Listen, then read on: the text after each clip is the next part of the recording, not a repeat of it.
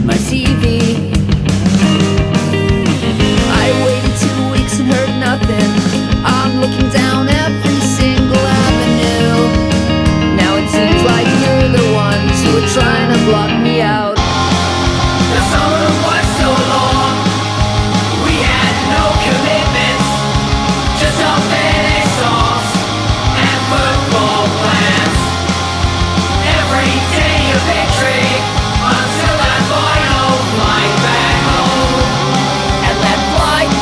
like getting